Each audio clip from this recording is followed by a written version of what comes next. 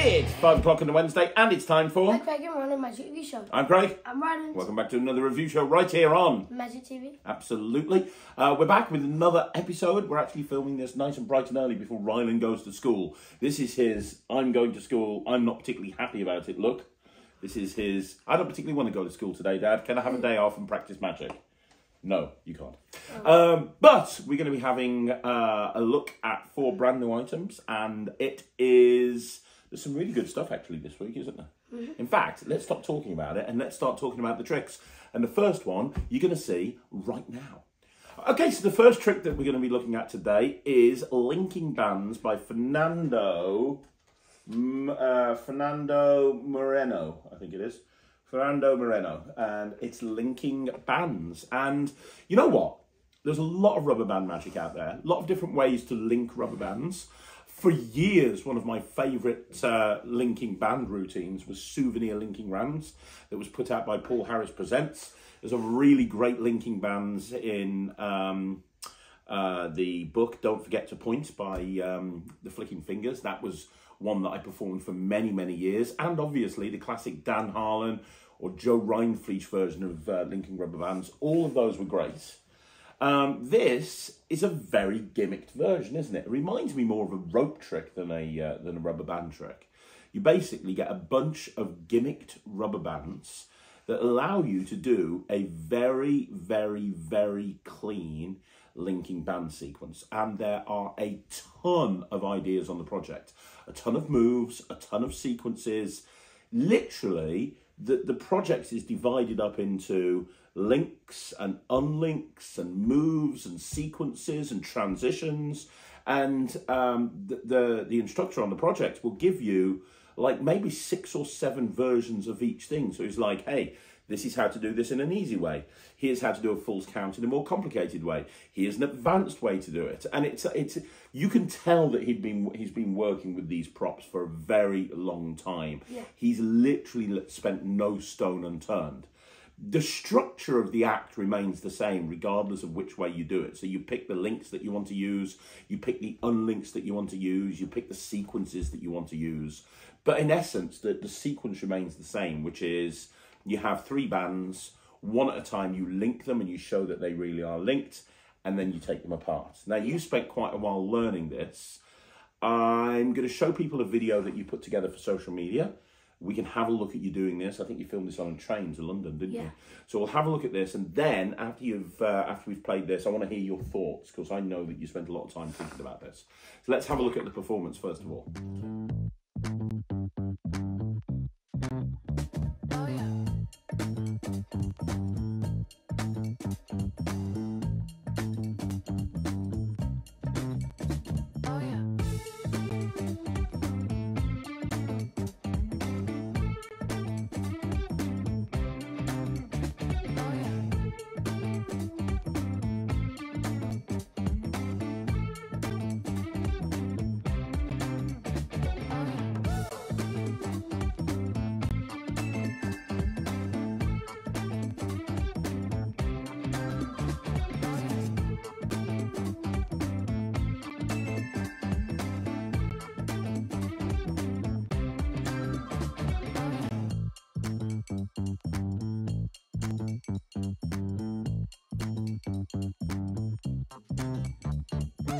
Okay.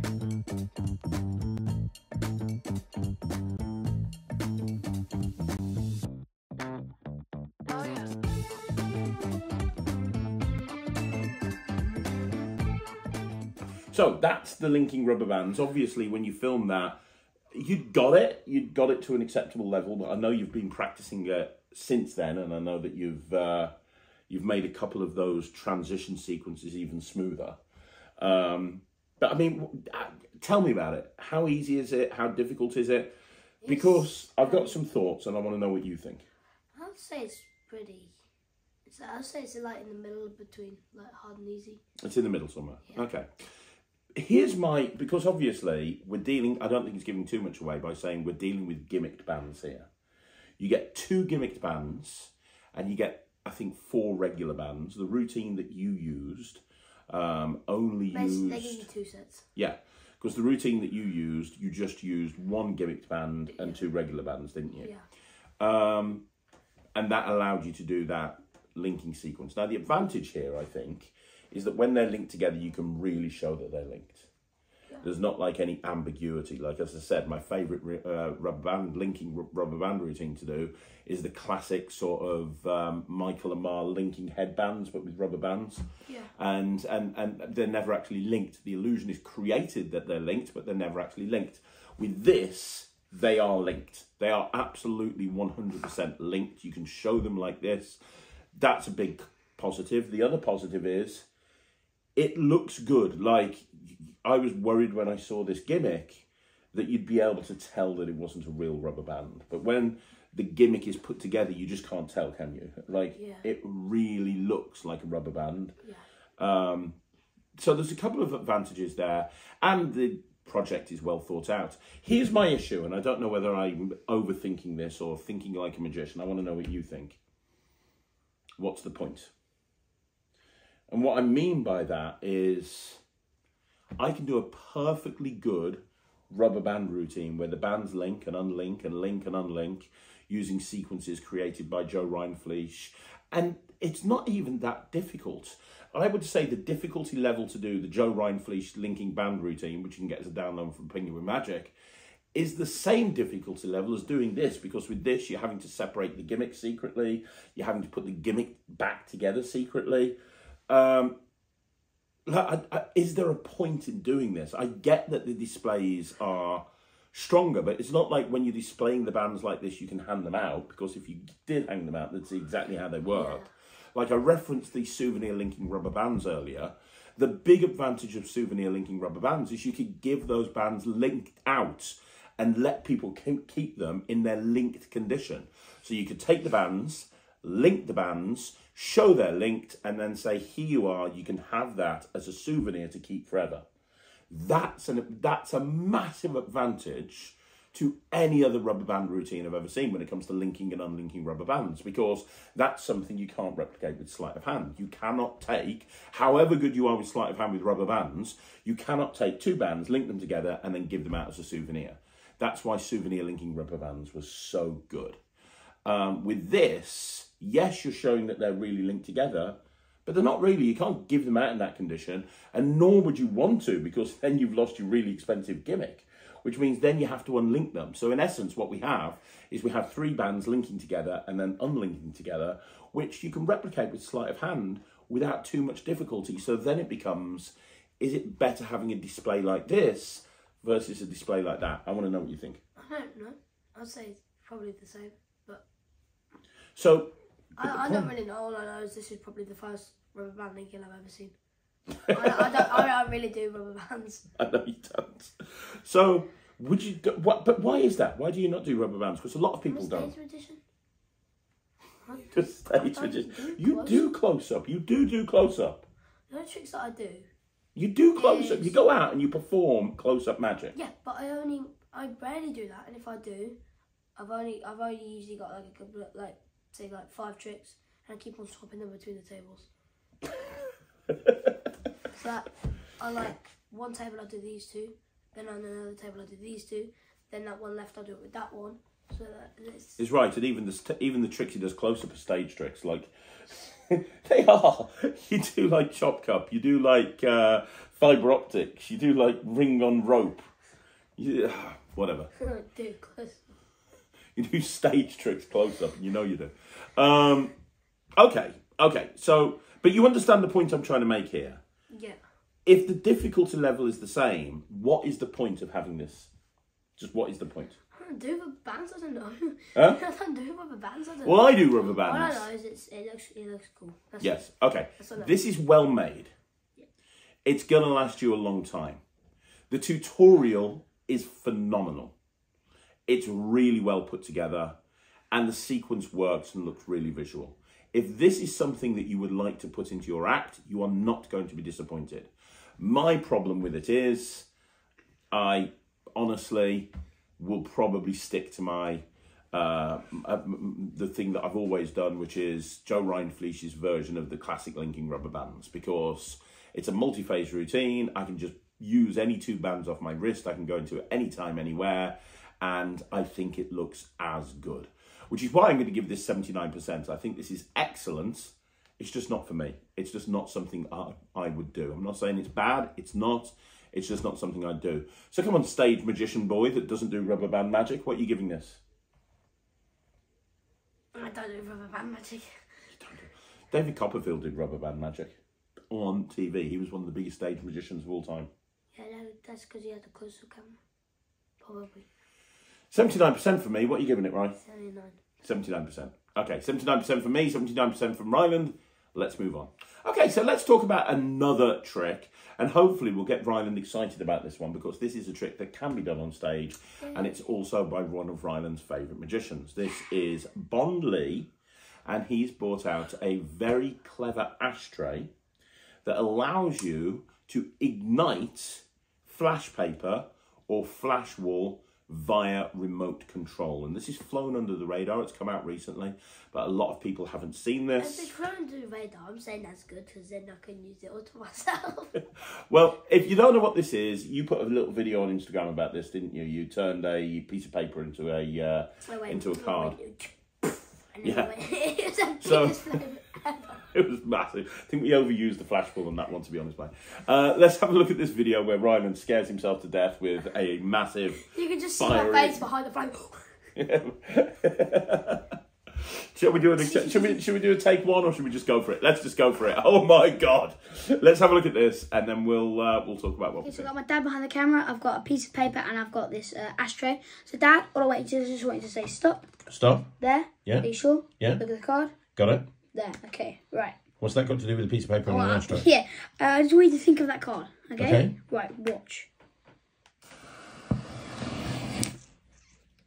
Now there's one. What the freaking hell was that? Now there's one card. It's a little bit hot, but if you if you have a look at that card, No way. you can see that we have the five of hearts, Spades. Five spades. Did five freak you out? Yeah, lovely.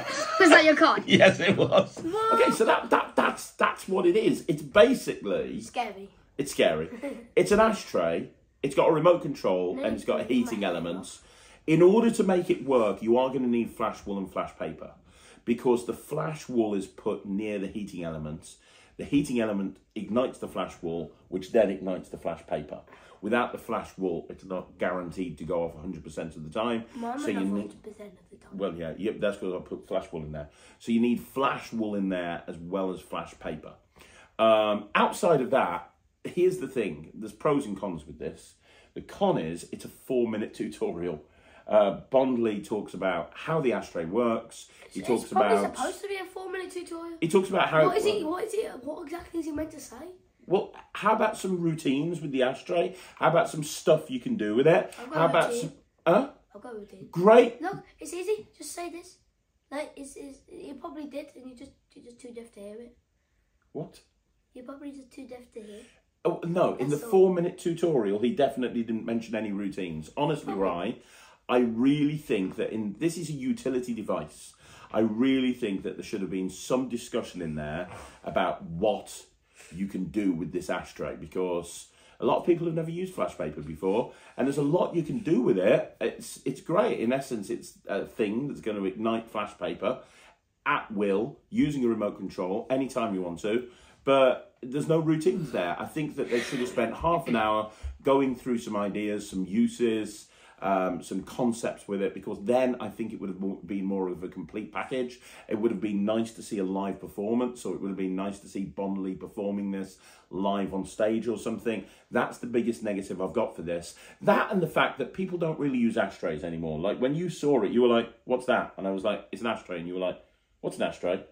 Like you didn't even know what an ashtray was. It's a, it's been built into a thing that hasn't really been around that much since the 1990s. Um, but I mean, ashtrays still exist, and people can obviously use ashtrays to put, you know, rubbish in and stuff. So it makes sense to build it into an ashtray. I get that.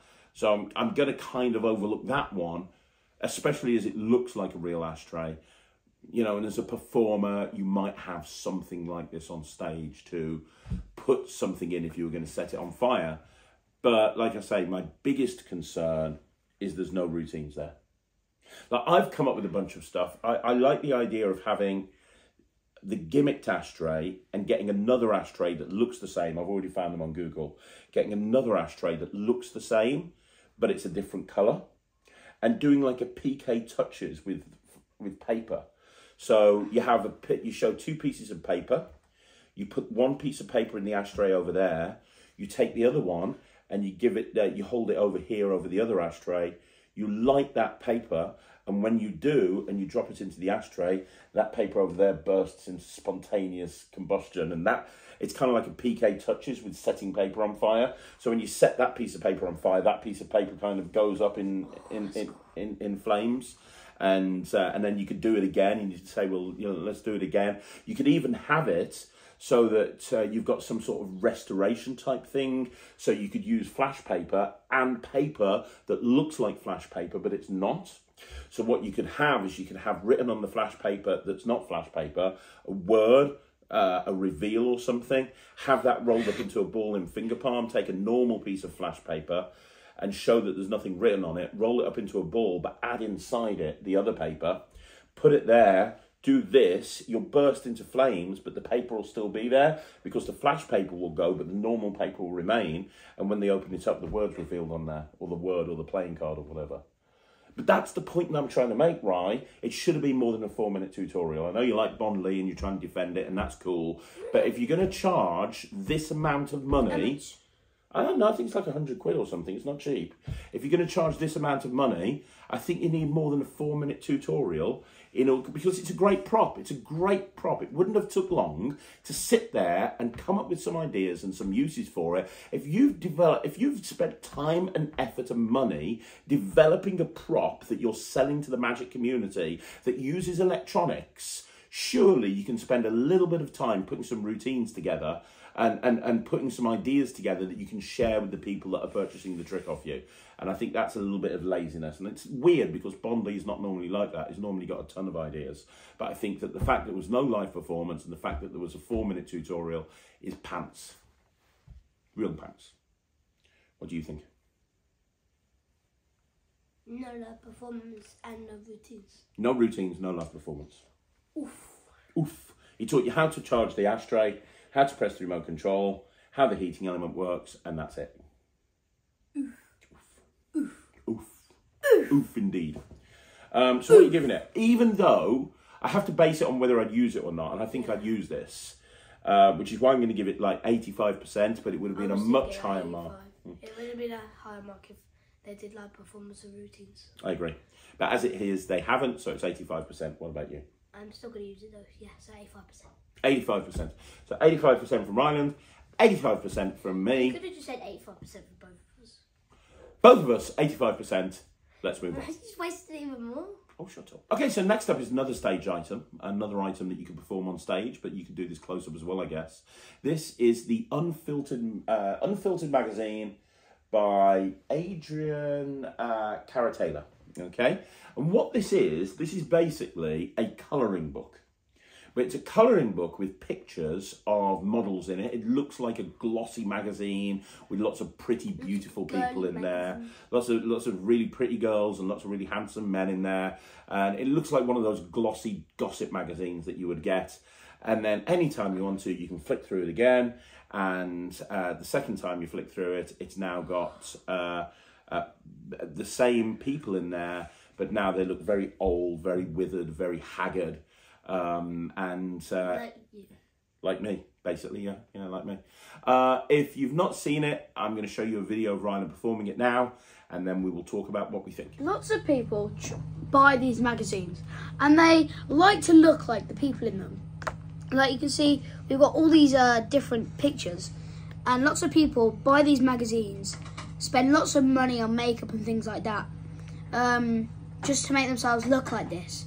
And um, the thing is, believe it or not, most of this is actually photoshopped.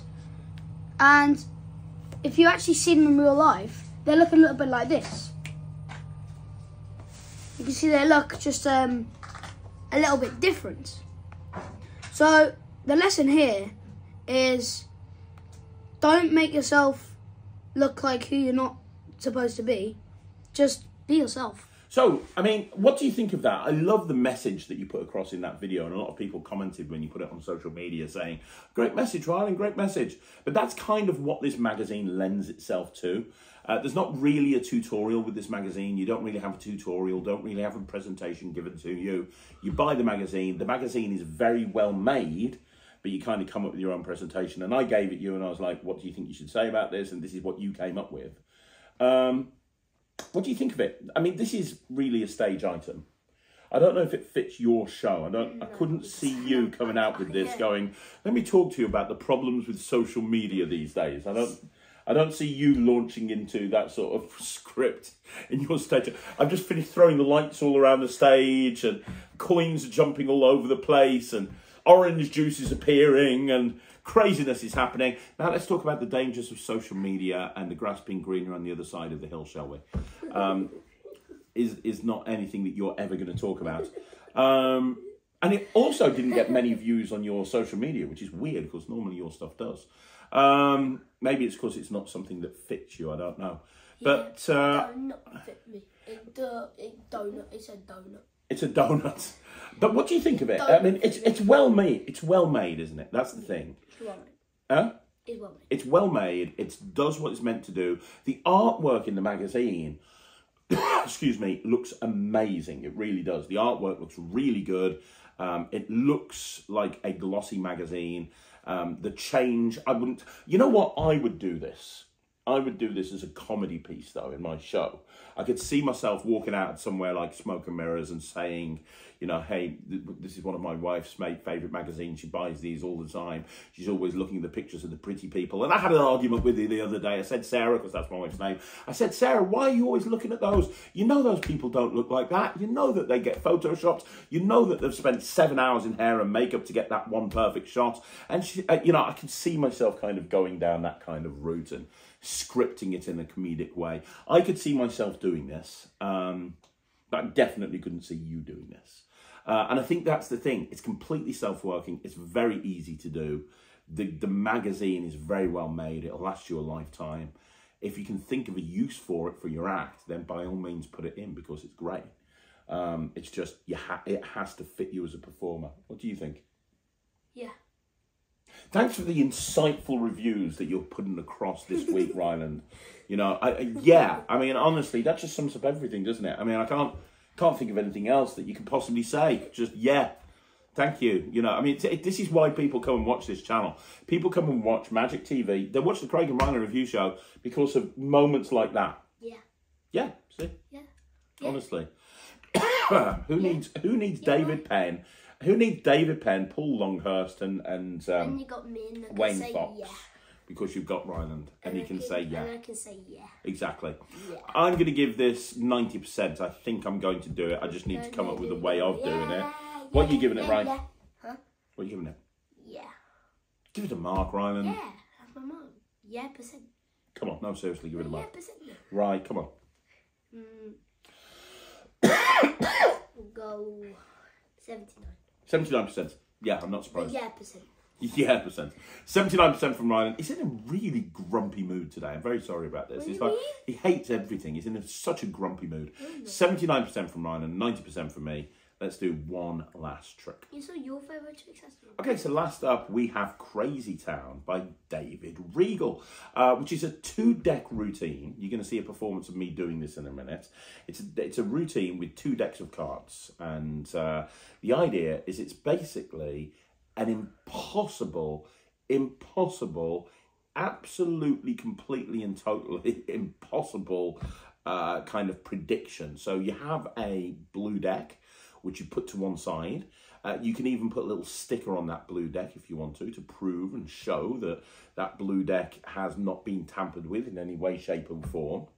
You then take a red deck, and four spectators uh, mix up the cards, they shuffle the cards, they mix them up, they shuffle, they mix, they shuffle, they mix some more, they shuffle some more. The cards are really kind of uh, mixed up as much as you can possibly imagine.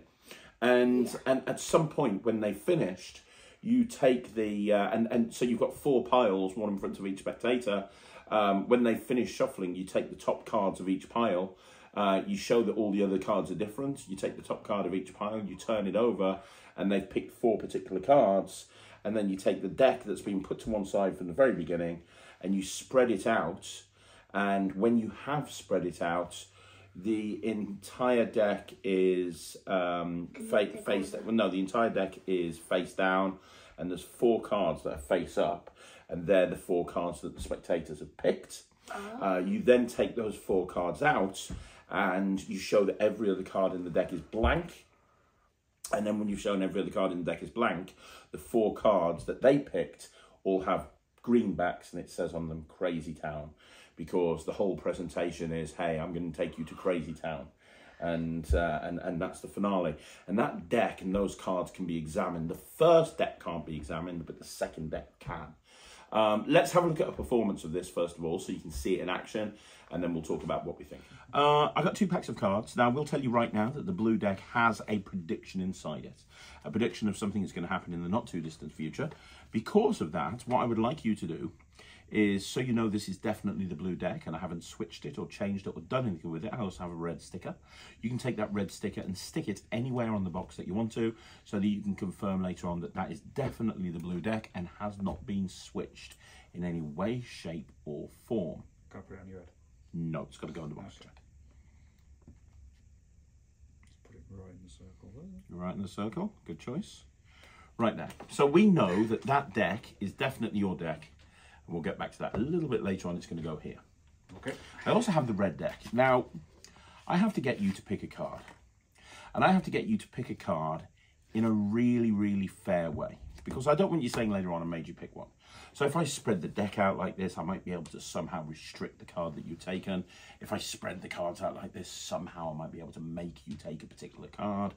Um, even if I, uh, I, I, I, I do it face up, I could maybe influence you by know, somehow. So I need to do it in a very, very way.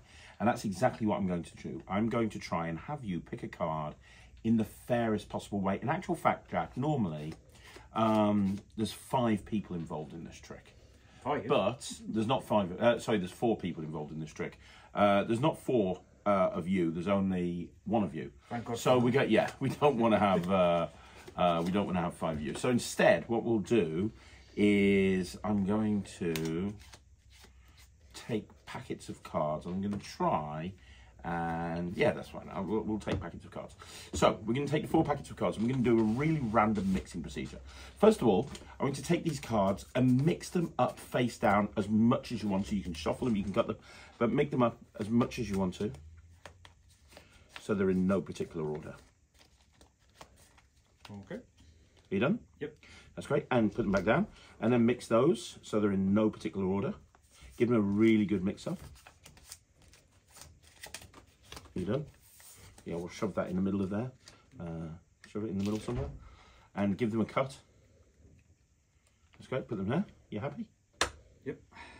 Uh, that's great. And do the same with those. Give them a really good mix up. Just really, you know, mix those puppies up as much as you want to.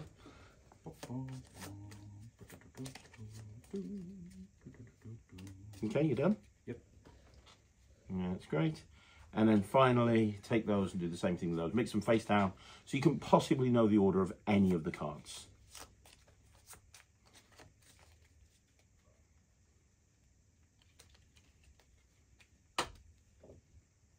Okay. Do you want to do any more mixing of any of the piles? No, I'm good. Are you sure? Yep. So you mixed it so that we had this one here, this one here, this one here, and this one here. And think about this. If you'd have mixed one more card, that would have been completely different. If you'd mixed one more card here, that would have been completely different. If somehow you'd cut this in a... I don't think you cut that packet, but if you had have cut the packet, you would have ended up with a completely different card. The point is, every single one of these cards, you could have ended up in a completely different set. Nobody knows what card that you would have picked, but you shuffled and shuffled and shuffled and ended up with these four. Would you agree that that is completely random? Yeah. Want to get the aces? Huh? Do you want to Well, no, no. uh, We'll have a look at what you got. I don't know what you've got. So you've got a Queen of Hearts. Queen's not bad. You got the Seven of Clubs. The Nine of Diamonds. And the Four of Spades. Very random. Very random. And you could have ended up with anything, like I say. That that was a completely free choice on your your behalf. Would you agree? Yeah. But you ended up with these four cards. No one could have predicted that you would have ended up with these four cards. No one could have known that you would have ended up with these four cards. Would you agree? Yeah. Yeah. Do you remember that I put this deck here from the very beginning? I know your not focus hasn't been on this deck, but that's why we put that that red sticker right there, so you know that that's the exact same deck. Here's the thing: I have just taken you to Crazy Town. Crazy Town. I've taken you to Crazy Town because the way that you picked the cards, the way that you selected the cards, was such a haphazard, strange, crazy procedure that we are now officially in Crazy Town. We're in Warsaw. Yeah, right. But I knew we'd go there. Do you know why? This deck has been here from the very, very beginning. And in this deck, I turned four cards over in four different parts of the deck. There's no way. And the four cards I turned over are the seven What of the clubs, fuck? The queen of hearts, the four of spades, and the nine What? of diamonds. But I'm telling you, man, I really did know that those were the four cards that you would pick, which is why every other card in the pack is blank there, Jack. And when I say I took you to Crazy Town, I mean I really took you to Crazy Town because these four cards say Crazy Town, population, us. It means that you and I and Michael are now in Crazy Town and you can examine everything. That's insane. Okay, so that is Crazy Town. Now let me talk about uh, some pros and cons. So first of all, um, a big pro is uh, it feels absolutely impossible. Like it really does feel impossible because the spectators are shuffling, the spectators are doing everything. You have nothing to do, and yet still this prediction matches. It does feel really impossible. One of the big, ah, not negatives, but one of the big problems with this is is that you have to think on your feet. It's not you know like sometimes you do a trick and it's the same thing. You do this then you do this then you do this you do this. You do the same procedure and it always is the same procedure every single time. This is a little bit like a mem deck it's a, there's nothing to memorize or anything but in terms of you know like when you're jazzing with a mem deck and they'll name a card and you have to think right how am i going to get to that card? Right jack of hearts i know that's 20 cards down. Right cut a small packet of cards and you see that you've got to 15 and you're like right okay what am i going to do from here? It's a little bit like that, but without the memory work, in that you've got the spectators shuffling the cards. Depending on the outcome, you have to go in a different direction slightly. The end result is always the same, but the procedure leading up to get end result changes every single performance, and you have to be the sort of performer that can think on their feet and that can um, come up with uh, uh, different approaches that, without giving too much away, different David goes through everything with a fine tooth comb, but you do have to think on your feet. You do have to think on your feet in order to get to that end result, if that kind of makes sense. Um, if you're not the sort of performer that can think on their feet, this might not be for you, but David does explain that exactly what you need to do and the best way to do it. And he goes through different real examples as he's actually demonstrating this. Um, the other thing to consider is that the first deck, uh, the red deck that you're using, can't be examined at all. Now, that's not too much of an issue because the focus is put on the second deck at the end. The second deck, where the cards are blank, that's the deck that people want to examine, and that can be examined, but the first deck can't be examined. Um, the other thing to consider, and I don't know the answer here, this is a little bit like the rubber band trick, in that we talked about the rubber band trick. Why using gimmick bands when you can do linking bands using regular bands? What does this add in terms of effect? It's the same with this. In essence, what we have here is we have a revelation of four forced cards. Um, that's what that's what the whole sequence is. It's a revelation of four forced cards, and the revelation is a really good one because the cards are forced. The method that you're using to force the cards doesn't feel like a force is taking place. It does not feel like a force is taking place because they're shuffling, they're mixing, they're doing everything. You wouldn't think for a second, hang on a minute, those cards are forced. You just wouldn't think that. But in essence, they are. So my question is, how much better is this compared to, for example, using the riffle force four times, or using the classic force four times, or using a timing force four times. How much better is this compared to that? Is it much better?